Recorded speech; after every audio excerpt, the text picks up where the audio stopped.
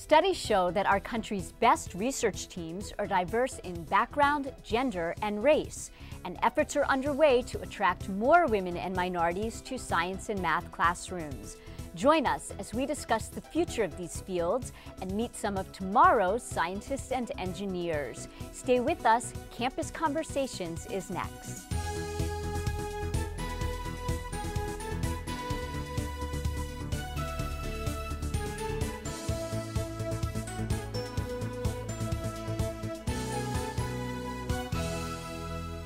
Welcome to Campus Conversations. I'm Steve Simon.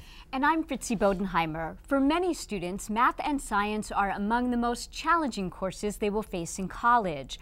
But a new effort has begun to help ease the way for future scientists and engineers, women and minority students among them. Joining us now to discuss what we at Montgomery College are doing to help all students succeed in these fields are Dr. Sanjay Rai, Instructional Dean of Science, Engineering, and Mathematics at the Rockville campus of Montgomery College, and Professor Stephanie Pepin, who teaches math on the Rockville campus. And we want to welcome both of you to Campus Conversations today.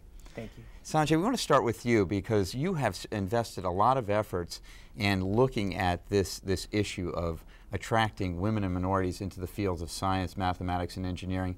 And, and I want to start with uh, a major effort that you had a chance to be involved with in the past year, working together with one of the foremost experts in this entire field uh, anywhere in the world, Norman Augustine, the former CEO of Lockheed Martin. Tell us a little bit about that. Yes, uh, uh, Mr. Augustine chaired a committee of National Academies of Sciences and whose report, uh, Rising Above the Gathering Storm, has become a, a, a guiding uh, principle for a lot of institutions across the nation. And definitely at Montgomery College, we have taken uh, sufficient guidance from it. Uh, this report talks about the role of science education in the global economy. Uh, as as the, the workforce of tomorrow becomes more and more, uh, uh the, the need for uh, uh, workforce of tomorrow requires more and more science skills. this report suggests that in the United States, we have to double the number of science and engineering graduates by the year 2015. And one of the things so I was going to say it's not so far away, 2015. Not, no, I know. Yeah. We used to talk about that like that was the, that was uh, Back to the Future. But one of the things that uh, that Mr. Augustine, this panel has looked at, is the pivotal role that community colleges colleges can play in helping to solve this problem. Why is that? Well, uh, uh that's obvious because uh, we have to, to double the, the number by 2015 and at present about half of the science engineering graduates begin their education at a community college. Mm. So, uh, if you want to double the, the total number of graduates, I mean arithmetic pretty much dictates that mm -hmm. uh, we cannot achieve that goal without the doubling, without doubling uh, the numbers at community colleges. And we at Montgomery College have been fortunate enough, I know you worked on this, to get a wonderful grant which has allowed us to start some mm -hmm. programs to encourage more folks to study in these fields, particularly women and minorities. Yes. Uh, uh, typically, uh, this this particular project which you are talking about is is uh, Department of Education funded uh, uh, project. It's called uh, Project Portal for Success in Engineering. Now, the idea is that typically engineering is a field which is a swim or sink field.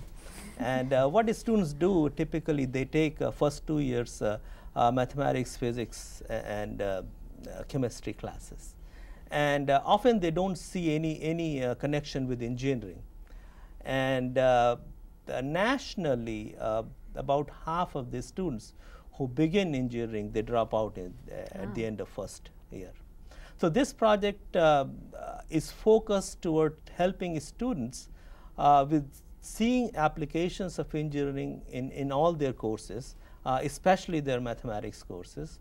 And then they are given a significant amount of support outside the classroom on how to prepare uh, for tests or how to, to uh, study better or uh, the focus on their homework hmm. and the focus on uh, studying for the exams and um, also some, some research.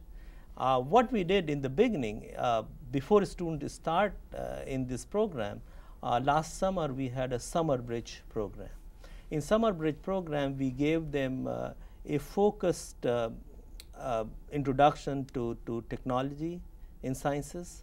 Uh, we talked about graphing calculator, computer algebra systems, and uh, uh, the conceptual uh, understanding of mathematics.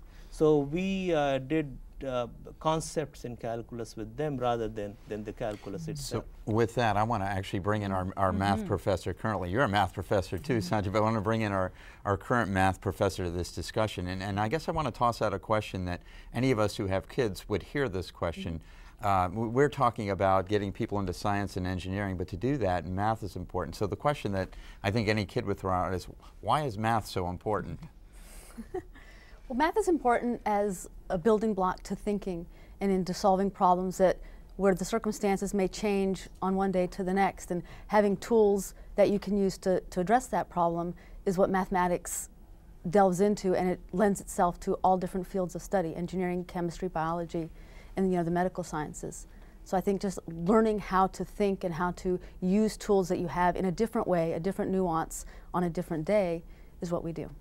And you've been helping students try to see math not just as a course, but more as a sort of a long-term subject or a broader subject as itself. Absolutely. I think too many times we try and just get through my next algebra class and instead of seeing boy, can I get mm-hmm. some, some tools, some algebraic tools here that will help me now in my geometry class or in my algebra 2 class or in my statistics class.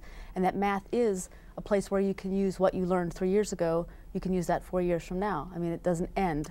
Mm. It, it continues, and we may get more breadth and more rigor with the, the subject, but it's still something that we've seen before, just changed slightly as we go further. We were talking before the show, and one of the things I recall, Sanjay, that you were saying is that, you know, math um, and science and engineering, these fields, it was brought out by uh, Norman Augustine himself saying it's not very glamorized in our country. It's one of the reasons why people uh, are not going into the field, perhaps, uh, in, the, in the right numbers. Um, tell us a little bit about what, what do you think it's going to take to sort of intrigue people to get into these fields at an earlier age so they can see that in their future? I think uh, a lot depends on, on, uh, on how we teach mathematics uh, uh in our mathematics classrooms, uh, whether it's high school, elementary school, or college, or even graduate school. A uh, lot depends on how we teach, how we make mathematics relevant in the real life of students. And then, you know, not only mathematics, just mathematics, engineering, uh, sciences in general, uh, what are the returns and respect in the society uh, we live in. Uh, typically, uh, students uh, opt out for other options because they see easier approach towards, you know, better salaries, better jobs, and things like that. in terms of science education, uh, we lose about 40% uh, of the teachers every five years wow. in sciences because they go to, to other disciplines and, and other professions.